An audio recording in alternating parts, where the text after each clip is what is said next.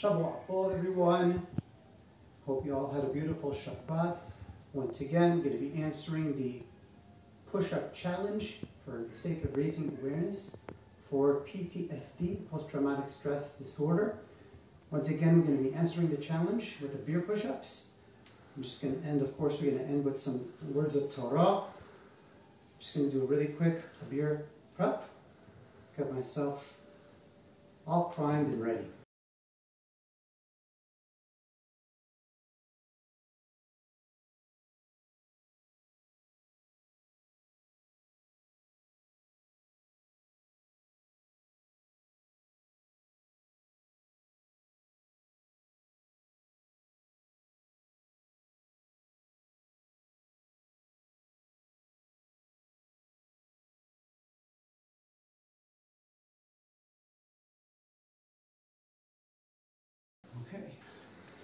Here goes.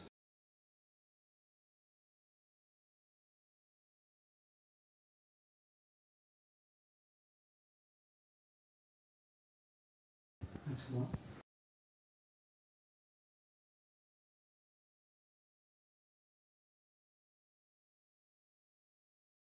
That's two.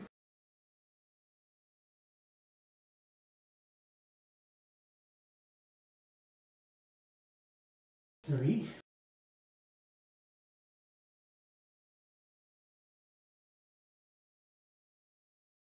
There goes four.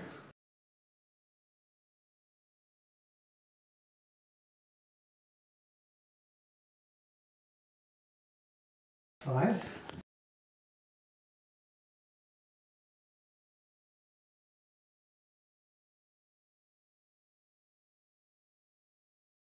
Six.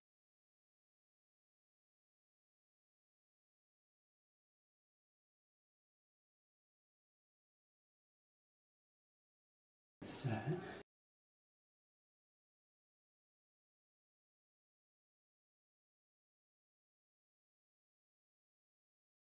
Eight. Do another more.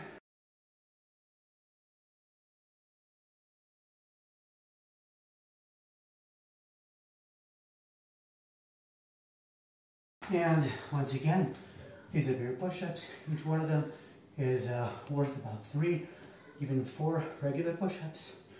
So 25 push-ups, I figure is about seven or eight of your push-ups. So of course, everyone is familiar with the verse, uh, you shall be very careful with your lives. Many people don't uh, translate it that way. Uh, we're speaking, of course, in uh, Deuteronomy, Devarim uh, 4.15. That's uh, Devarim uh, datu. Um, that's the way we say 4.15. ונשמרתם מאוד לנפשותיכם, ונשמרתם מאוד על נפשותיכם. Uh, a lot of people translate it as you shall be aware of your souls, and it just doesn't really connect. Um, really, you should be very careful with your lives, meaning with your health, your well being. And uh, even more famous, of course, is in uh, Wayikra, uh, Yatyah.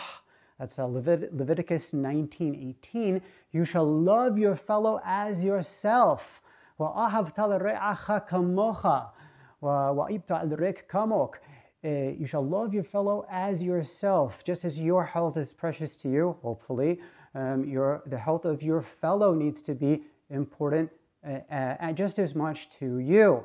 Now, think about how that connects with PTSD. Uh, that's why it is so incredibly important to be aware of the symptoms of PTSD, not only for ourselves, but also for our fellows, the people of our community. Um, so, uh, you know, all these important uh, issues that plague us, uh, whatever they might be, whether we personally are suffering uh, for them or someone in our uh, close family or not, these are part of the human condition and we need to sensitize ourselves to them. Uh, so, Ba'athrat Hashem, we should be zoche. God willing, we should merit to connect those uh, together and let that be part of our general awareness because ultimately we are all connected, we are all one. And with that thought, I wish you all, wish us all a beautiful new coming week. Shavua Tov umevorach.